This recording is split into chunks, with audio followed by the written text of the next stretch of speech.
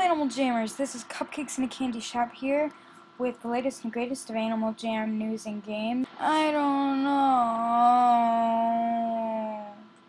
And I don't know what that was. Um, but anyways, um, today we're going to be doing a game review, and we're going to be doing the Carnival Darts.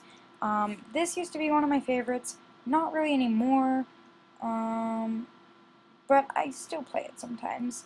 I like to go over here and just be like, just like spamming them, because then it gets me like a ton of the golden ones, which actually really, really does work, because then you get like a ton of points if you get all the golden ones.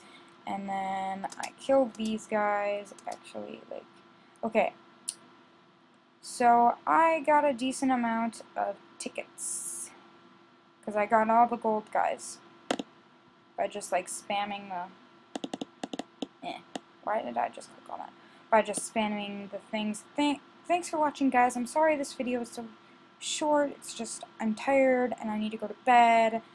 And depending on if the carnival is still open, tomorrow we will do Dunk a Phantom. Or I'll do it tonight, depending on what time it is by the time this uploads. Okay, so uh, bye guys. Hope you enjoyed. Please hit that button, subscribe, make a pineapple very happy if you didn't already. Like, comment, share, favorite, anything else you can possibly do. And bye, guys. JoJo out. Oh, stupid mouse. Mouse is freaking out like my last video. Or the video before that. Or the video before that. I don't remember what it was. Okay. Bye, guys. JoJo out.